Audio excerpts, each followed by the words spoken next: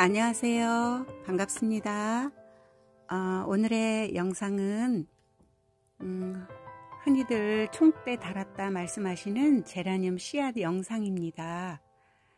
전에 한동안은 열심히 씨앗을 받아놨다 파종해서 심기도 했었는데 음, 그러자니 꽃 얼굴이 말이 아닌 꼴을 봐야 해서 그게 너무 싫어서 다 잘라내 버렸는데 이번에는 이렇게 연글도로 어, 기다려 봤어요.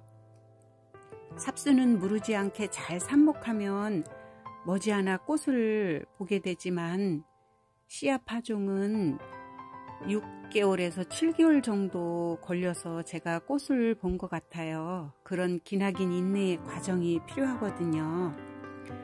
일부러 남겨둔 거는 아닌데 씨앗이 여기저기 많이 맺혔어요.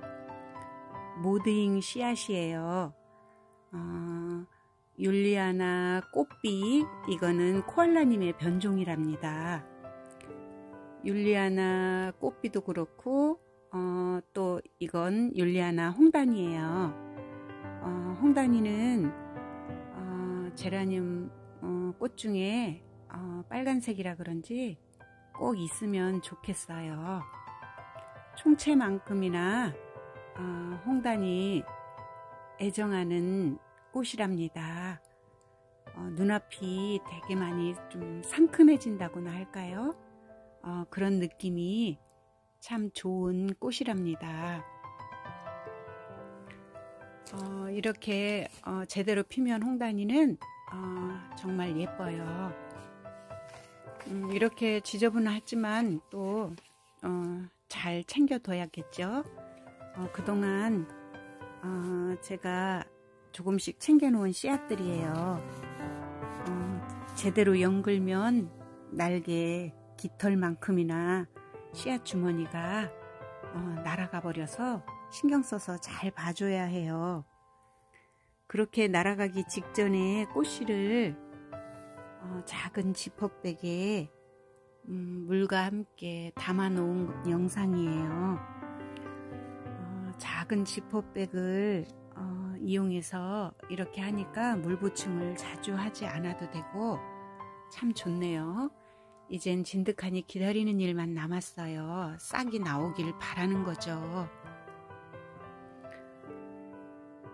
지퍼백에 물 넣고 닫아주니까 어, 자주 자주 물이 마르지 않아서 어, 좋더라고요.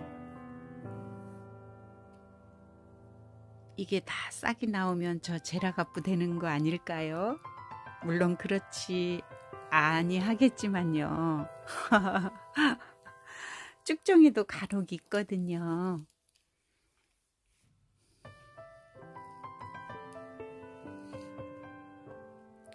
이렇게 어, 또 어, 껍질을 벗는 게 하나둘씩 보이네요. 어, 오늘의 영상과 잘 어울리는 꽃 필사해 봤어요. 꽃 박지은 그 어떤 꽃도 그냥 온 것은 없다.